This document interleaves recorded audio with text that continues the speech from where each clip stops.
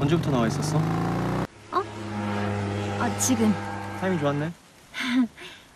아, 근데 갑자기 왜? 응? 나한테 개인적으로 연락한 적 없잖아. 그 호선이 만날 때만 가끔 보고. 너 나 좋아하잖아. 어? 아니야? 어 아닌 건 아니지만 뭐 어떻게 알았어? 나 안 좋아하는 여자 별로 없거든. 근데 뭐 죽는다니까 동정하는 거야? 응. 그냥 좀 관심이 가. 기분 나빠? 아니 뭐 너무 대놓고 그러니까 황당하네. 안 죽으면 어쩌려고? 안 죽으면 더 좋지. 어제 나 남자랑 잤어. 응? 그 남자 기억나지? 그날 내 친구 파티에서 그 남자 재벌이다. 진짜 꼭대기. 나보다 잘난 여자애들도 어떻게 한번 해보려고 난리인 남자라고. 물론 나도 좋아했지. 근데 게임도 안 되는데 거기까지 넘보는 건 쪽팔리니까 욕심도 안 냈거든. 근데 나랑 잤어. 그럼 뭐 잘 된 거 아니야? 새벽에 깨보니까 없더라. 쪽지 한 장, 문자 한 통 없어. 마치 없었던 일처럼 사라졌어. 미친놈. 아니, 나도 뭐 그 사람이 나를 정말 좋아한다고 생각하진 않았어. 아니, 그렇게 생각하려고 했어. 이렇게 될까봐 겁이 났나 보지. 뭐야, 대체? 아 왜 갑자기 여성 친화적이냐고? 아니, 그러고 사라진 다음에 연락도 없다가 이랬지. 그날 말하지 않았나? 회사에 중요한 프로젝트 시작한다고. 아, 그래서 브런치 먹을 시간은 있고 나한테 문자 하나 남길 시간은 없구나. 너도 연락 안 했잖아. 뭐야 대체? 진짜 모르는 거야? 뭘? 아니 남자랑 잤는데 남자가 아침에 사라지고 연락도 없으면 어떤 여자가 아씨 짜증나. 씨. 아니 자고 나서 뭐 뭐라고 문자해? 잘 잤어? 기분 좋았어? 아 이거 너무 이상하잖아. 아니 그럼 뭐 이모티콘이라도 남기던가. 나 이모티콘 안 써. 별일 없고 용건 없으면 원래 연락 안 해. 아니 뭐 화난 거야? 아 나 괜히 온 건가? 내 딴엔 이게 신경 쓰는 건데. 그날 너랑 재미 있었고 그 다음엔 일을 했고 일을 하면서 네가 있는 곳에 지원을 해야겠다 생각했고 그래서 일정 비는 대로 날짜 빨리 잡아서 오늘 왔고 아, 화 풀어 응. 화 풀어 뭐? 풀어 나 이제 가야겠다 저기 그냥 내가 먼저 연락할게. 얼마든지. 아 바저에 우리가 주간에 첫 번째 지원 사업이 될 거야. 같이 잘해보자.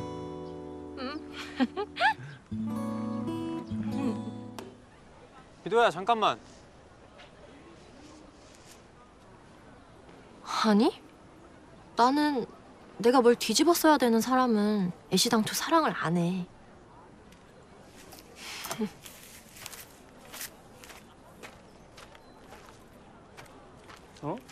그 친구는 안 온 거야? 어, 어, 어. 힘들겠네 음. 근데 사람들 정말 많이 왔다. 역시 엘리그룹 발이 장난 아니네. 기자들도 오고 홍보팀 직원들이야 내가 불렀어 신문사 기자들도 있는데 저기 박 기자님 아니야? 안녕하세요. 안녕하세요. 아 뵙기 어려운 분을 의외의 곳에서 뵙네요. 이번에 출시되는 제품이 여성들의 니즈에 적합해서 홍보 겸 지원 사업을 진행하게 됐거든요 오랜만이에요, 박 기자님. 와주셔서 감사해요. 아니 근데 성미도 씨가 계시던 호스피스네요. 많이 친하신가 봐요. 아, 아, 네. 이 사귄다고 소문이라도 나면 아니에요. 아니, 사귀는데요?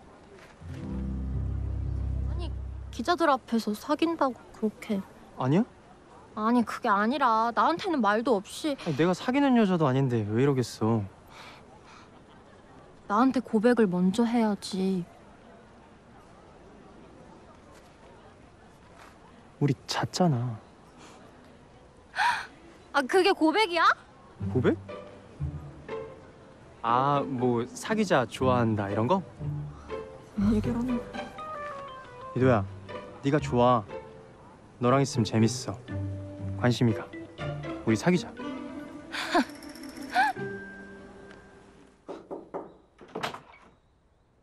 실례하겠습니다. 어, 오빠 무슨 일이야? 비도야, 내가 할 말이 있어서 왔어. 응?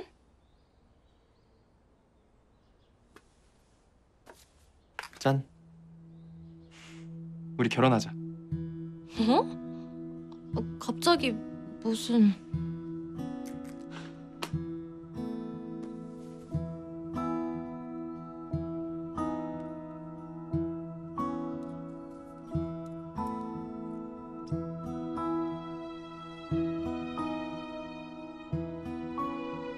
다음 주부터 출장이야.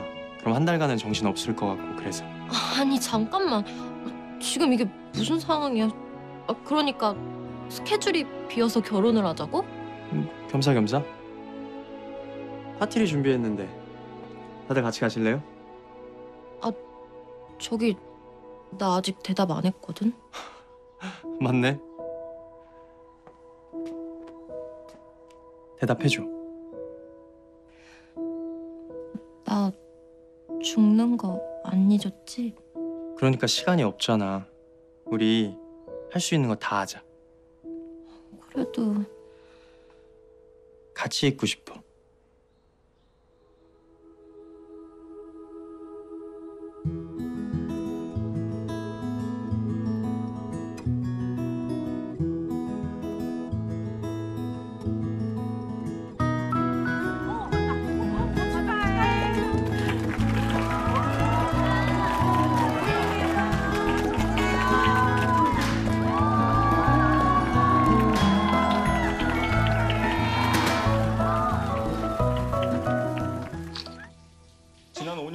5년 넘게 부실 시공 의혹이 계속된 정남시 하천 사업과 관련해 정남시가 공사업체에 대해 막대한 부당이득을 챙긴 혐의로 민영사적 책임을 묻기로 했습니다.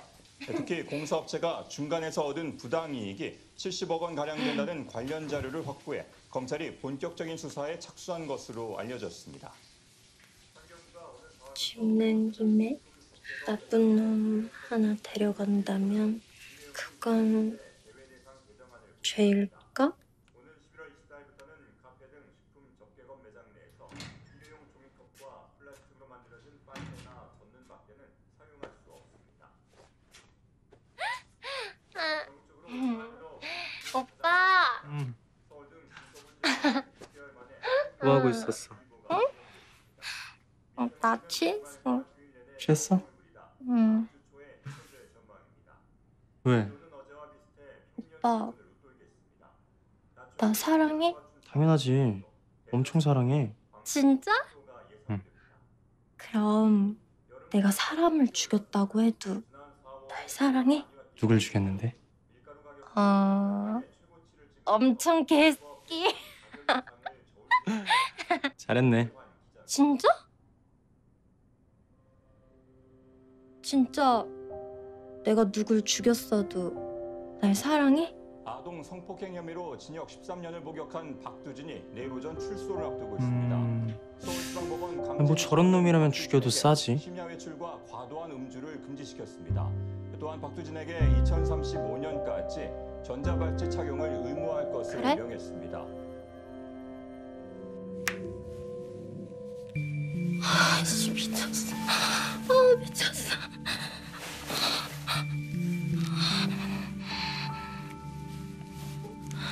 오빠. 오빠? 오빠 어딨어? 오빠. 오빠 어딨어? 아, 사실 나 비밀이 하나 있어. 뭔데? 내가 나쁜 놈 하나를 죽였거든? 정확히 내가 죽인 건 아닌데 그게 그러니까 그날 무슨 일이 있었냐면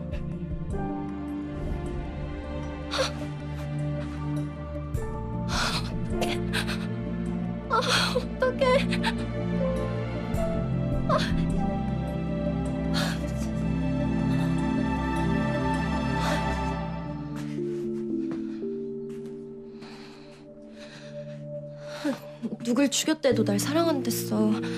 오빠 그랬어. 나 사랑한다고. 근데 그럴 린 없는 거지. 그런 게 어딨겠어. 아니 근데 오늘 그쪽 회장님 만난다고 하지 않았어? 이런 마당에 무슨 아버님을 만나. 결혼이고 뭐고 이제 다 끝났어. 아니겠지.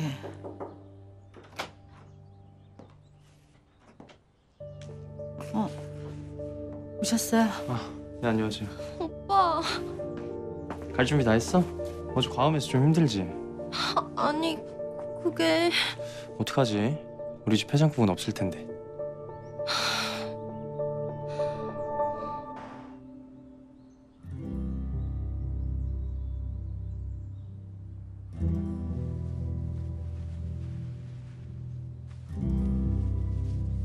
너무 예쁘세요.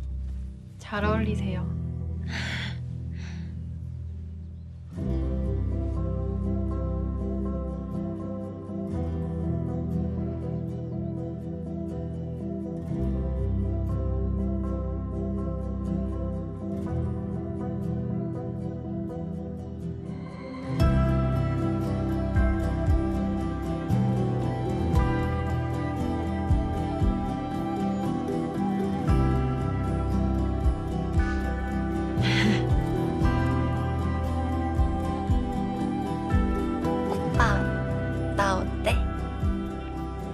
와 세상에서 내가 본 것 중에 제일 예쁘다. 진짜? 언니는 항상 인숙이 편이더라. 뭐? 그래. 나도 알아. 상관없어. 사람들 원래 나 별로 안 좋아해. 얼굴 예쁘니까 관심도 좀 갖고 옆에 두기도 하고 그러는데 금방 시들해져서 다 떠나. 남자들도 그래. 내가 사랑을 줄수록 질려하더라. 그래서 나는 날 보여주는 거 별로야. 적당히 포장하는 게 익숙해. 나도 알아. 근데 지표 오빠 옆에 있잖아. 내가 살인을 했다고 하는데도 옆에 있어줬다고. 어떻게든 도와준다고 했다고. 그게 나한테 어떤 건지 알아?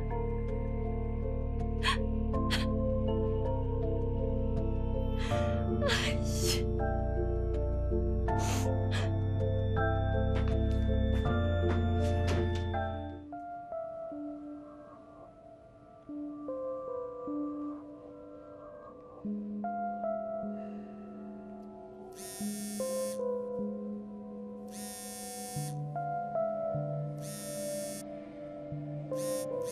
오빠 너무 걱정하지 마. 인숙이가 자수했으니까 곧 상황 정리될 거야. 깼어? 미도는 미도한텐 진심이었어? 잘 모르겠어. 아니 물론 미돈 이 사건이랑 관련 없이 알고 있었지. 근데 진짜 우연히 엮인 거야. 셋이 거길 가서 하용근을 죽이고 클럽에 왔잖아. 그날 뭔가 꽂혔어. 운명인가? 맞지? 그런 게 사랑이지. 미웅이가 나와. 그 애가 부르는데 나는 돌아볼 수가 없어. 겨우겨우 돌아보려고 하면 항상 그때 깨는 거야. 미웅이? 내 동생 죽었어. 그래서 혼자 서울로 도망쳐서 돈도 벌고 엄마 아빠 빚도 갚아주고 그랬는데 이제 어디 있는지 모르겠어. 그렇게 열심히 SNS로 소식을 남겨도 오지 않아. 내가 죽는다는데.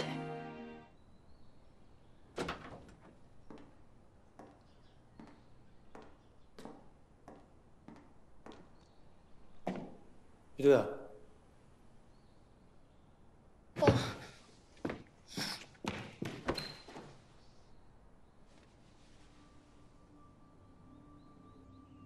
미안해. 정신이 좀 없었어.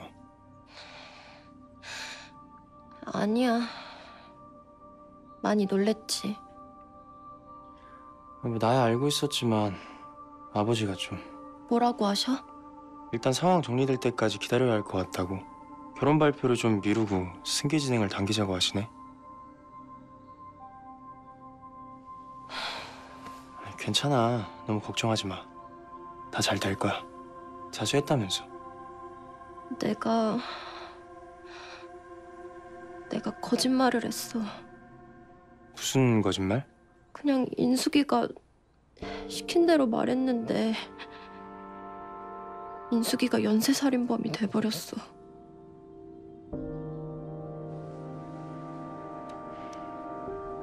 어쨌든 네가 죽인 게 아니잖아.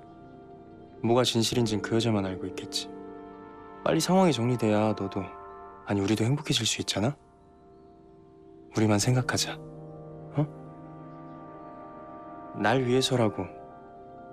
날 위해서 그런 거라 생각했으면 좋겠어. 사랑해.